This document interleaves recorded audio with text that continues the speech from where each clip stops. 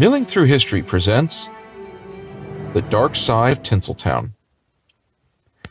While everyone still continues to talk about the infamous slap heard around the Oscar world, one does have to admit that when we look at modern celebrities today, their scandals are, well, quite simply put, rather tame compared to the uh, Hollywood scandals which had occurred during the golden age of cinema.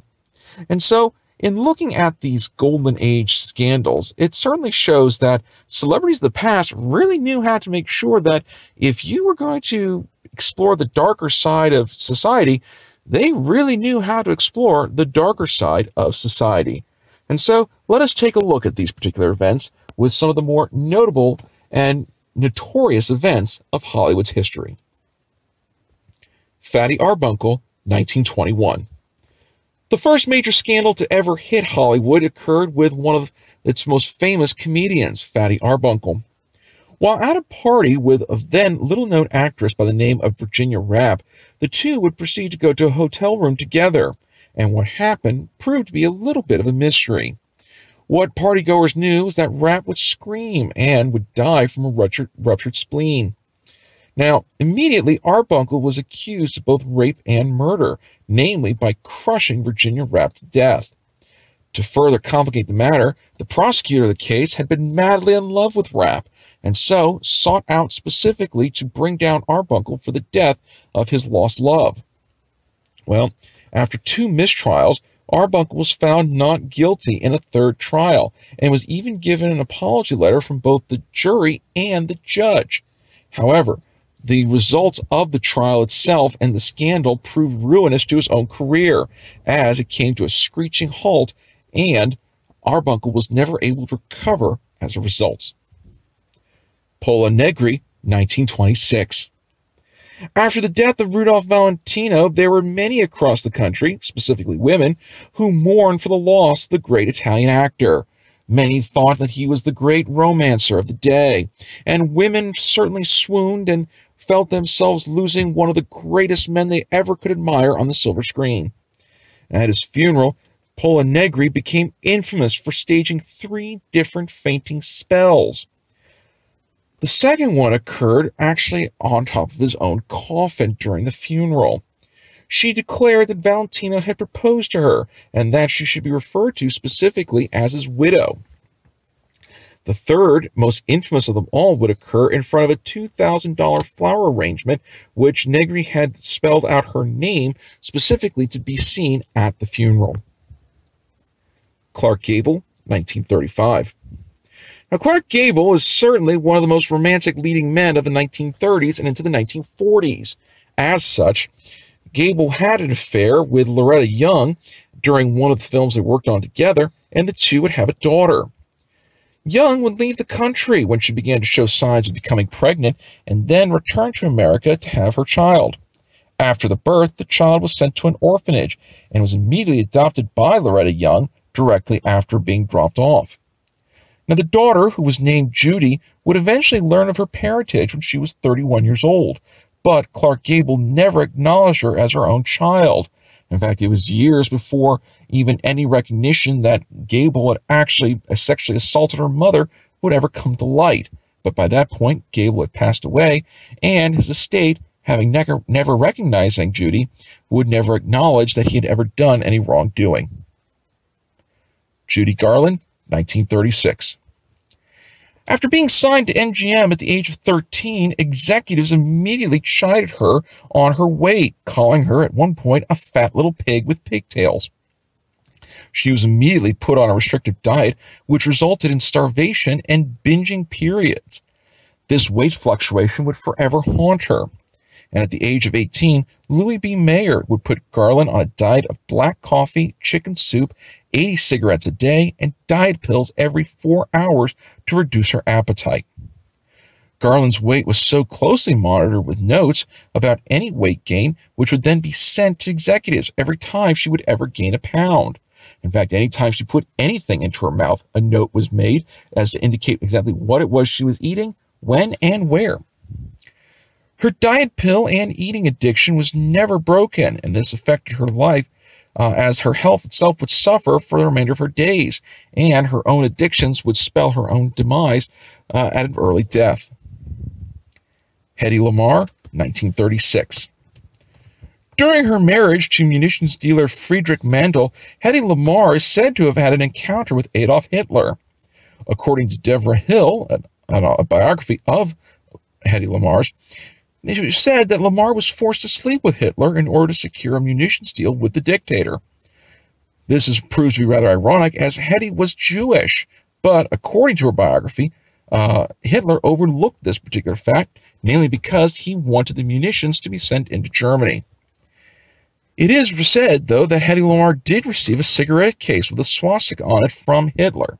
Whether or not this is actually true is up to speculation, but what is known is that Hedy Lamarr became a staunch supporter of the Allied movement and would even go on to become a rather integral part of the war effort. Errol Flynn, 1942. If ever there's a man on this list who deserves an episode of his own, Errol Flynn might be the guy to get one. In addition to this, Burt Reynolds may have said it best when it came to the life of Errol Flynn. If you took all of the stories about this man, cut half of them out, and assumed they were false, he still lived, lived an unbelievable life. As such, Errol Flynn is rather unique as he was charged with statutory rape of two 17 year old girls. In January and February of 1943, Flynn was put on trial. His attorney went on the immediate offensive and attacked the character of the two girls, claiming they were notorious for sleeping with married men and working with prosecutors to go after Flynn. He was eventually found not guilty, but the trial did a great deal of damage to his career as a romantic leading man. Ironically enough, however, it was during these trials that Errol Flynn would meet his second wife, Nora Eddington, and following the trials and eventual um, acquittal, Flynn would marry Nora, and the two would go on to have a short but happy marriage. Elizabeth Taylor, 1958. Following the death of her third husband, Elizabeth Taylor was grief stricken and would find comfort for, in the form of his best friend, Eddie Fisher. Now, as is oftentimes the case in grieving, the comfort would lead to an eventual affair, and this affair was all the more prominent as Eddie Fisher was married at the time to Debbie Reynolds. Now, Fisher chose to divorce his wife in order to marry Elizabeth Taylor, but Taylor was immediately accused of being a homewrecker. Ironically enough, though, the marriage between Elizabeth Taylor and Eddie Fisher did not last, as Elizabeth Taylor almost immediately had an affair with Richard Burton and eventually divorced Eddie Fisher just to be with, Ed, with Richard Burton. Jerry Lee Lewis, 1958. After having been married twice, Jerry Lee Lewis got married a third time to Myra Gale Brown. Now, Brown was his first cousin once removed, and ironically, no one ever seemed to have paid attention to the fact that at the time of this marriage, Jerry Lee Lewis was 22 and Myra was only 13.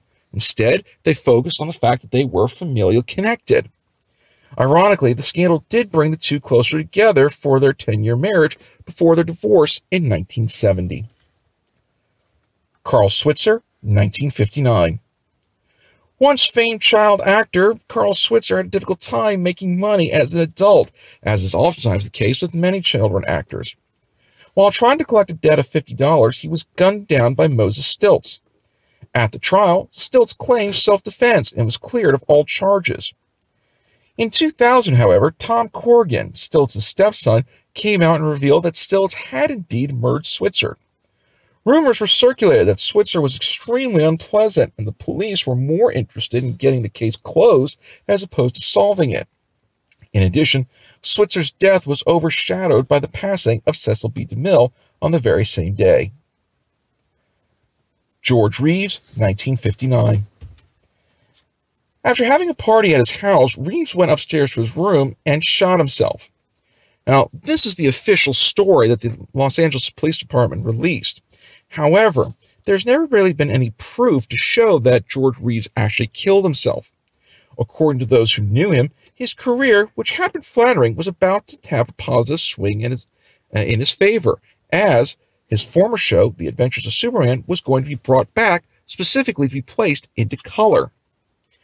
Now, there are three theories which have come out as to exactly what happened on the night of Reeves' death. The first is that Eddie Mannix, famed for dealing with scandals in Hollywood, ordered the death of Reeves after learning about the affair that Reeves and his wife were having. The second theory is that Leonore Lemmon, Reeves' fiancee, killed him by accident during a fight. And the third was that in 1999, Toni Mannix, wife of Eddie Mannix, claimed on her deathbed that she had arranged the murder of George Reeves.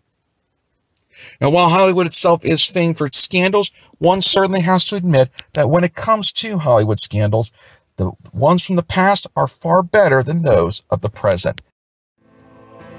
For more information, please consider these suggested titles. Be sure to click on the left-hand side of the screen to subscribe to our show, and on the right-hand side for our latest episode. And we will see you again for the next episode of Milling Through History.